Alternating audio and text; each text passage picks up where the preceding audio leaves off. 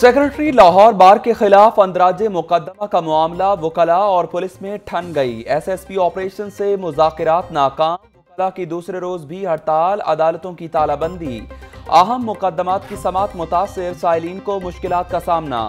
نئی judicial policy کے خلاف بھی پاکستان بار کونسل کی ہڑتال۔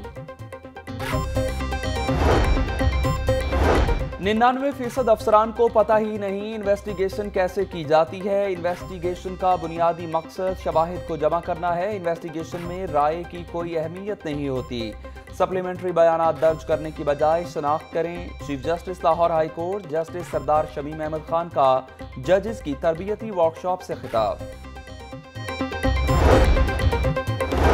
Paragon housing scandal case, Khawaja برادران کی احتساب عدالت پیشی، سعد رفیق کے اکاؤنٹ سے کروڑوں روپے کی ٹرانزیکشنز ہوئیں۔ پیراگون غیر قانونی منصوبہ ہے۔ دونوں بھائیوں نے مالی فوائد حاصل کیے، نیب کا الزام۔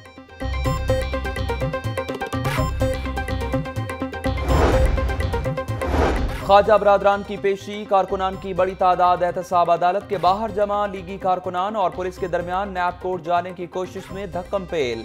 لیگی کارکنان کی حکومت کے خلاف نعرے بازی، عدالت اندر اور باہر، پولیس کی اضافی نفری، تعینات، اطراف کے راستے بھی بند۔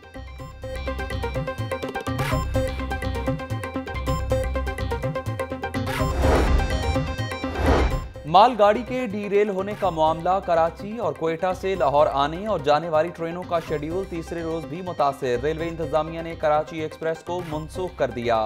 عوام ایکسپریس تیرہ، شاہ حسین ٹرین ایک گھنٹہ تاخیر کا شکار۔ اکبر ایکسپریس تین گھنٹے، جبکہ جعفر ایکسپریس چار گھنٹے لیٹ۔ کراکرم ایکسپریس دو گھنٹے تیس منٹ کی تاخیر سے لاہور پہنچے گی۔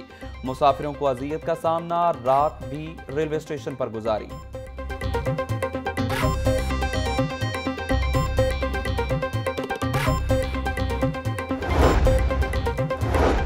مہنگائی کا طوفان، برائلر مرغی کی اونچی اڑان۔ برائلر مرغی کے گوشت میں آج پھر چھ روپے کلو اضافہ۔ دو دنوں میں اکیس روپے مہنگا، قیمت دو سو چوالیس روپے فی کلو ہو گئی۔